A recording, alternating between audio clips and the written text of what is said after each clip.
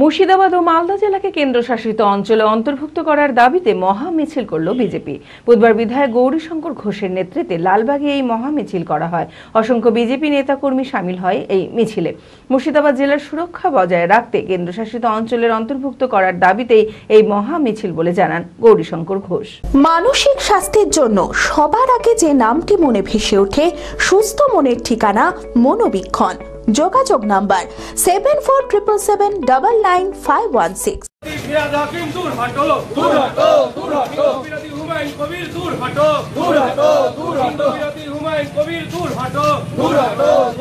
মুর্শিদাবাদ ও মালদা জেলাকে কেন্দ্রশাসিত অঞ্চলের অন্তর্ভুক্ত করার দাবিতে ইতিমধ্যে জেলা জুড়ে চলছে রাজনৈতিক চাপানোতর।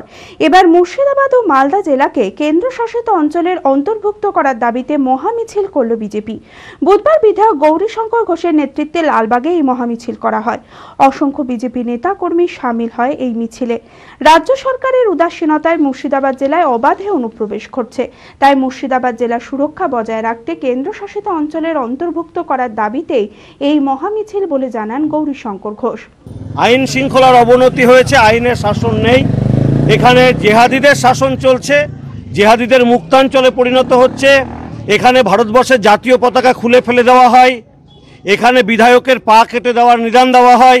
এখানে বলা হয় যে, দু ঘণ্টা সময় দিলে সব হিন্দুকে কেটে গঙ্গার জলে ভাসিয়ে দেব। বক্তা কারা, তৃণমূলের বিধায়ক বা মন্ত্রীরা? কোনো মন্ত্রী আবার বলছে যে যারা হিন্দু হয়ে জন্মেছে তাদের দুর্ভাগ্য, তারা মুসলমানে ফিরে আসুক। এই ধরনের যারা স্লোগান দিচ্ছে তারা তৃণমূলের বিধায়ক, মন্ত্রী, আর এমন একটা পরিস্থিতি, তাদের এই স্লোগান, তাদের বক্তব্য, হিন্দু নধন- নিধনের যে বক্তব্য, তাতে এই জেলার মানুষ ভীত সন্ত্রস্ত। মানুষ চাইছে আইনের শাসন এখানে কায়েম হোক। দেখুন, আমরা এর আগেও বলেছি, আমরা মুর্শিদাবাদ জেলার মানুষ, আমরা এখানে সুরক্ষিত নই। মুর্শিদাবাদ জেলার সমস্ত বিজেপির কার্যকর্তার মুখে একই বক্তব্য পাবেন যে আমরা সুরক্ষিত নয় আমরা নিরাপদ নই, তাই আমরা এই মিছিল বের করছি। রাজ্য বিজেপির মিছিল নাই হতে পারে। রাজ্য বিজেপি এখন কলকাতার মানুষ যদি সুরক্ষিত থাকে, তারা কেন মিছিল করবে? আমরা তো আবারও বলছি যে মুর্শিদাবাদ, মালদা যে জায়গায় আমরা সুরক্ষিত নয় নিরাপদ নয় সেই জায়গাকে আমরা ইউটি করতে বলেছি।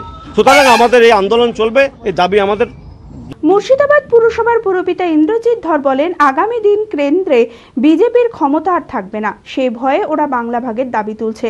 আগেও এনআরসি সিএ এর দাবি তুলেছে, কিন্তু মুখ্যমন্ত্রী সেটা হতে দেননি, এবারও হবে না। প্রয়োজনে আমরা বৃহত্তর আন্দোলনে নামব। পাশাপাশি দু হাজার একুশকে মানুষকে বোকা বানিয়ে ভেবেছিল, এখানে আড়াইশো সিট পাবে, হ্যান ত্যান। এগুলো তো দেখেছেন।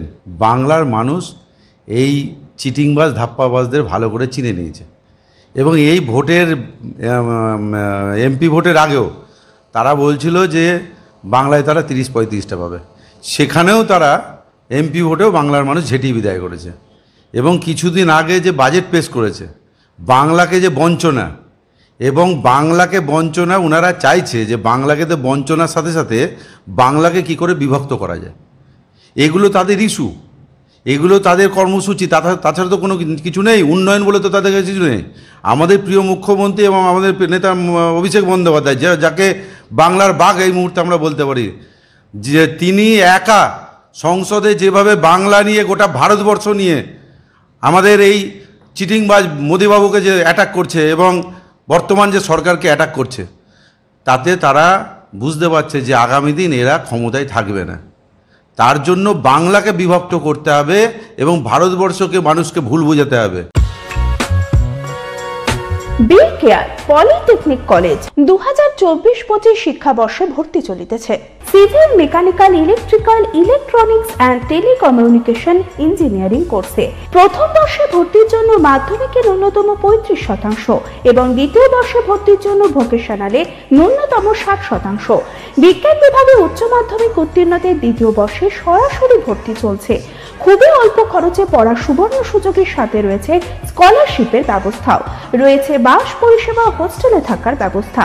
মেধাবী ও আর্থিক দিক থেকে পিছিয়ে পড়া ছাত্রছাত্রীদের জন্য রয়েছে টোয়েন্টি পার্সেন্ট বিশেষ ছাড়। ঠিকানা এনএইচ থার্টি ফোরের কাছে কানফালা, নবগ্রাম, মুর্শিদাবাদ। পলসন্ডার কাছে। যোগাযোগ number eight nine six seven one five double eight two one